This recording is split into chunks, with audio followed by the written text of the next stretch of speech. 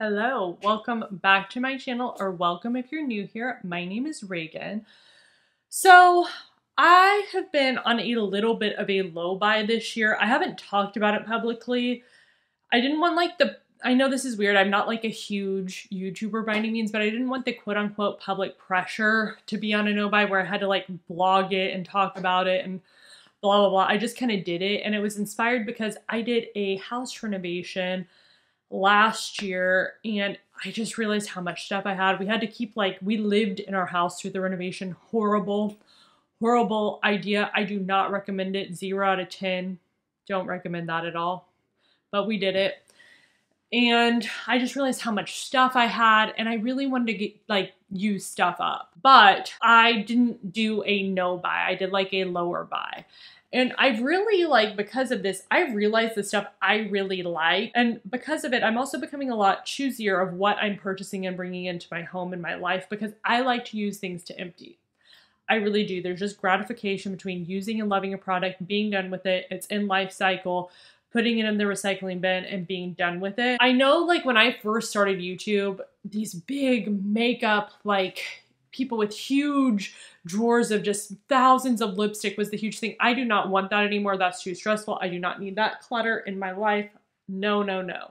I like makeup. I'll always have more than the average person, probably. It's a hobby of mine. I love beauty. I'll probably have more than the average person.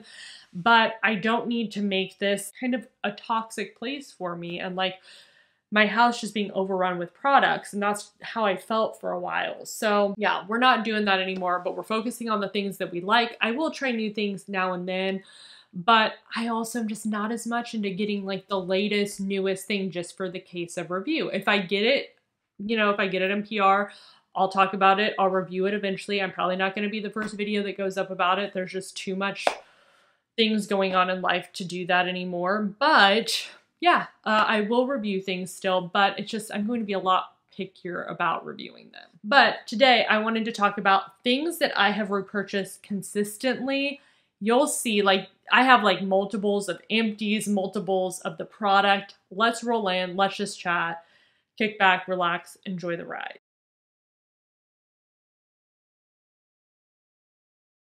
All right, so the first product is this cleanser. So this is Ursa Major's Fantastic Face Wash. So I have loved this, guys. I have this in every single size. So I first tried this out in this mini, and I really liked it. So then I had this full size. Really liked it. Then I got this, and I used this up because I was empty of both of these. So I got this in like a GWP. Use this up. And then I was all empty of all of them, so I bought this one. um, and it's Ursa Major's Fantastic Face Wash. And I like it because it's a nice gel face wash, so it does foam up a little bit, which is what I like. I like a little bit of like a sudsy facial cleanser, but it's not super harsh. They do have some fragrance or like essential oils or something in this, maybe some essences. I'm just trying to see. Yeah, they have some oils in this, like some sugar maple, they have lavender flower water. Okay, so they don't use any essential oils to scent this, but it is not like a fragrance-free product. And it doesn't use any perfumes or anything. So it's very natural. It's just a very warm, woodsy scent. And I really liked it. It's very unisex in scent. I think even in branding, pretty unisex. So if you're looking for something, it's not the most expensive face wash ever, not the cheapest, but you know, I get eight ounces of this. This will last me a few months and I just love it. I keep this in my shower. It's a great shower facial cleanser and I'll repurchase it again and I did. So I wanted to share that with you guys. It's just, it's kind of basic, but I like it and I like the scent and I like the product experience. So yeah. So when we're in the face category, I want to talk about Tower 28 and my obsession with their daily rescue facial spray. This stuff has revived my skin so many times. So the first time that I got it, I wasn't obsessed with it. I actually thought it was supposed to be like a makeup setting spray. And I just didn't understand like what was the big deal about this? This was their old packaging and I was like, that's fine. Like it's okay. But it wasn't anything special. But then I got the worst eczema this past year. I've had some really bad reactions to product. My skin has been super sensitized. And I used this and I used this and I used this. So I ordered this to refill because it's that good. My skin loves it. drinks it in. It has very basic ingredients to it. So let me just see. It has water and then sodium high uh, chloride and then hypochlorous acid. These are really good ingredients for eczema prone skin and sensitive skin. I'd highly recommend this. I'm trying to use, I mean, for cleanser, I can get away with using something that has a little bit of something that's scented. I don't want to say fragrance and I don't want to say essential oils because that's not, what the Ursa Major has. This has no scent though, so if it's staying on my skin, I prefer things that have no fragrance to them because the longer it sits on my skin, you know, I could have a reaction or something. So, yep, this has been one that I've loved, really helped my skin a ton, and I've refilled all of these, and I even have a mini, uh, another mini of this that's in my gym bag I just didn't pull out because you can see that I love this. All right, and then body oil. So I had a full size of Osea that isn't this one. This is the big glug jug, like economy size pot economy. You know what I'm saying? Like their biggest bottle that they had. I had a medium one. I can't find it. I looked through all my empties. It wasn't in there, but I know I've talked about it with you guys on here that I've loved that. I think I just recycled the bottle. So this is their Undaria algae body oil. So I did use up a mini of this. I used up like a medium full size and then I repurchased this big one. So this is 9.6 fluent ounces. What I love about this is the scent. It smells very light and sweet. I would say it's more citrusy, natural, kind of candy-ish, citrusy, natural, and it absorbs so nicely into the skin. I love a good shower oil. That's my favorite thing to use after the shower. It's just super quick and easy. Rub it all into my body. Then my skin's nice and moisturized. And this is really lightweight, not sticky, easy to use, smells great. And I will keep repurchasing this because I think I just found like my go-to. And again, I'll try other things now and then, but I'm just going to be a lot pickier about them. And I haven't had any bad reactions to that or anything. Again, my whole body has become like sensitized to stuff. So I'm very particular. All right. And I've repurchased this like six times. So I got these in a Beauty Hero subscription box. It's the Prima Sleep Tight. It's their calming hemp blend. So this is a nighttime sleeping supplement. I did a whole post about like non um, addictive, that was the word I was looking for, sleep supplements. I have that on my blog. I'll link it down below. But this is one of my favorite ones. So again, it's from Prima and it has 20 mg's of hemp CBD per serving plus 5 HTP GABA, and passion flower. This has been a really good sleep supplement. A lot of them are BS, and I've tried some that I'm like, and eh, that didn't really work. This I feel like keeps me asleep. This mm-hmm. really does help me have a really good night's sleep. And yeah, I repurchased it multiple times. I'm currently not on it. I feel a little bit of a difference, but I'm able to sleep. And again, I really wanted to test a bunch of supplements before. I was like, oh, they're not addictive. I've tested them all myself and I can still sleep without anything, but I do have a better night's sleep when I take this stuff. So it's a little pricier of one. That's why I don't have it right now. I'm kind of waiting until Black Friday deals to like stock up on it. I will repurchase it again, but I think it's a really good one and I highly recommend it. So I couldn't find any empties of this, but I know that I have them. And this is my favorite lip serum from Fitglow Beauty. It's their nighttime lip serum. It's a little bit more expensive than their color lip serums. I think this is the best of them all. I do love my color lip serums. They're great for daytime. I think this is great for all the time though, because like right now I can use a little bit and then put it on top of my lipstick. And it's just such a unique formulation. It almost feels like it's silicone, but it's not. It's so slick, so moisturizing, has a nice vanilla-y scent to it. My lips just feel so good and hydrated when I use this.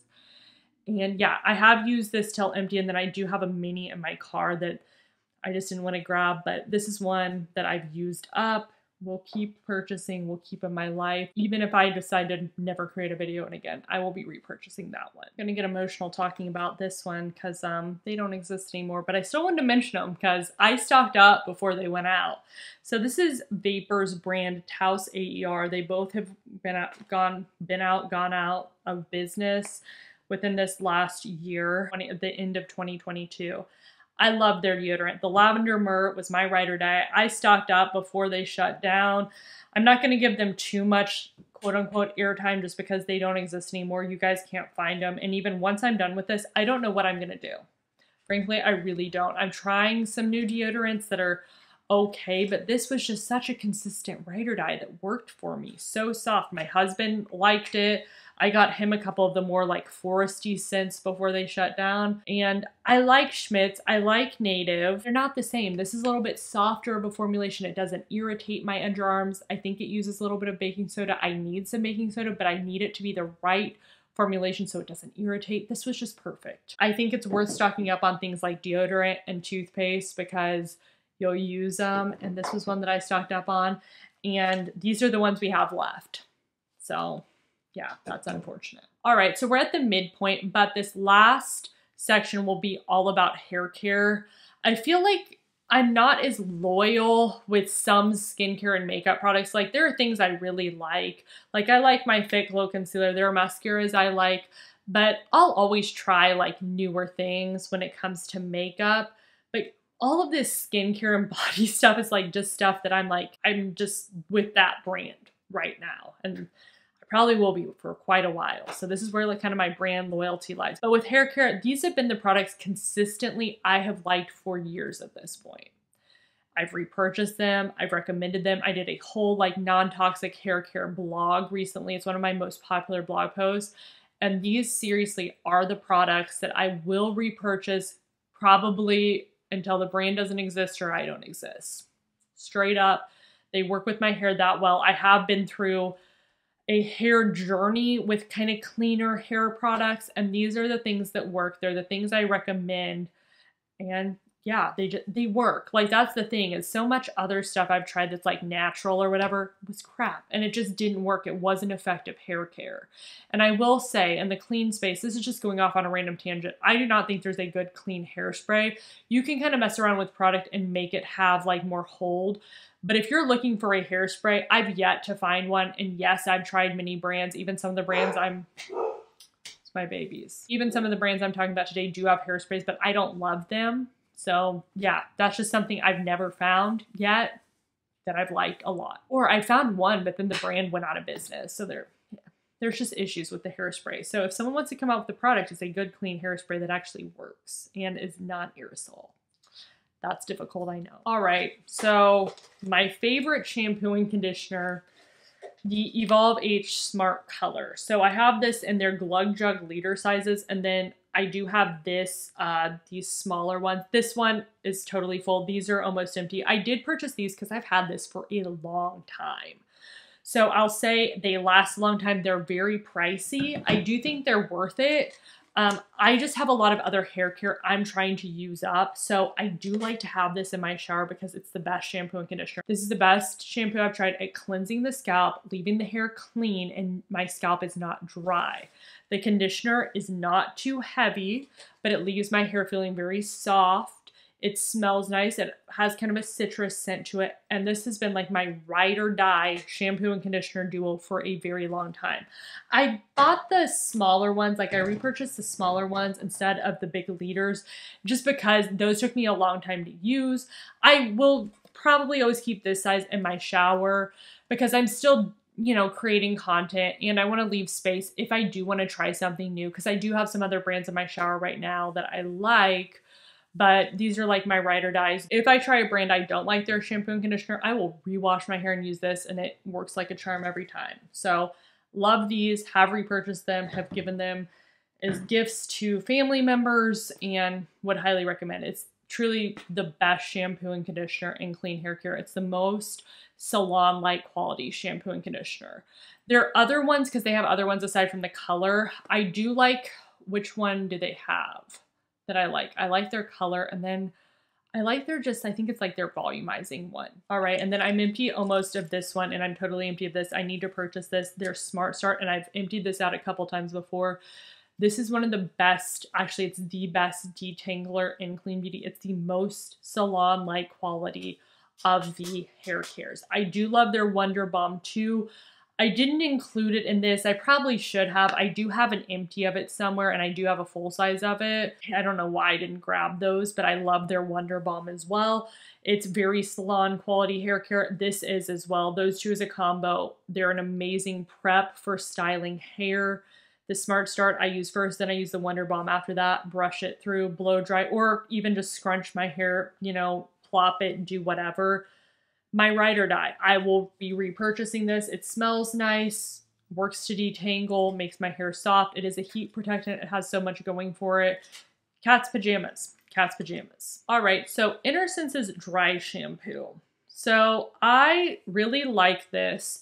And I think Innersense is best for people who like to wear their hair in its natural state. That's when I use their products the most. Like right now, my hair, I heat styled it. Like this is not my natural curl. I do have natural curl to my hair, but it was really frizzy today, so I just heat styled it. And I like to use whenever I'm wearing my natural hair. I think that's when it works best. I think that's what it's formulated for as well. That's just my two cents on it. But this is seriously the best dry shampoo because it's so unique, especially if you're a curly headed girl.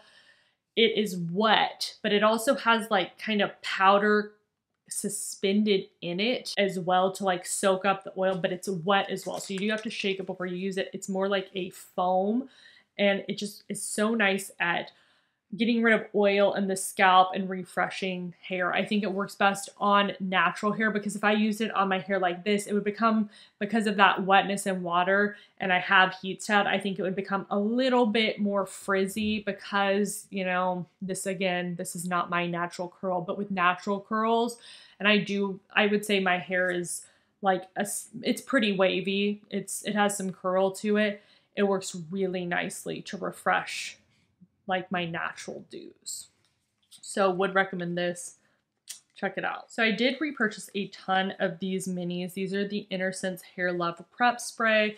I have the full version. This actually, it sounds like it's full. It has water in it. I refilled it just with water to use whenever I do wear my hair natural and I want to refresh it. This is what I use, but this actually has the real product in it. It's their Hair Love Prep Spray. You may be asking, why did she repurchase these tiny bottles? Well, Beauty Heroes was having a sale on their sales section and I saw that they had this and they had this product and I was empty of it and I really liked it for styling my hair in its natural state.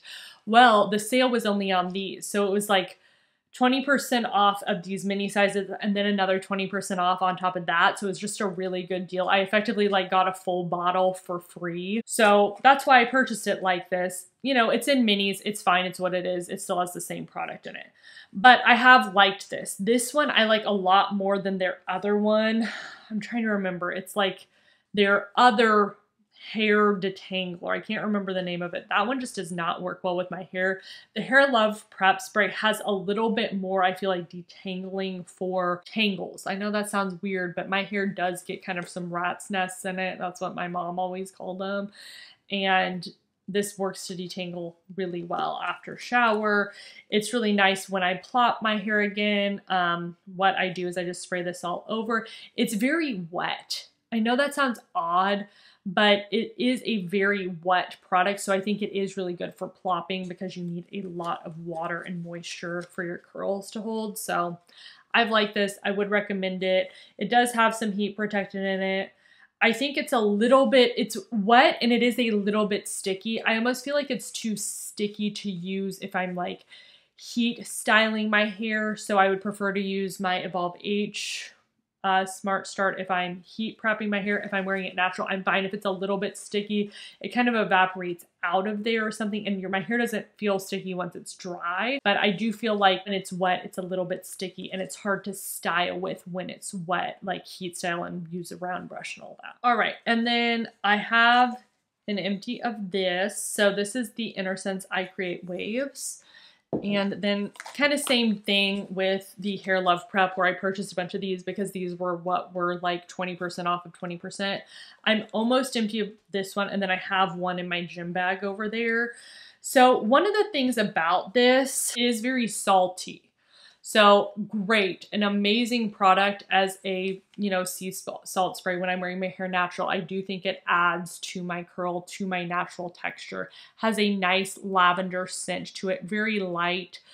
And I've really liked it for styling my hair naturally. The only thing is, is I feel like sometimes because of its like salt kind of nature, it's hard to spray this and get everything out towards the end. I think it kind of gets stuck in the pump. So that is that's just my own personal thought on it. It's not that big of a deal. Yeah, I have liked it. I think the formulation overall is the best like sea salt spray I've used. It's pretty lightweight. It's actually not as sticky as Hair Love Prep, I feel.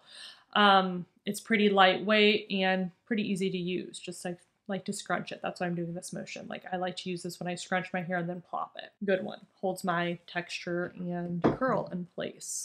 All right, all. So thank you so much for sitting through, listening to me talk about all these products. These are again just things that I have repurchased consistently.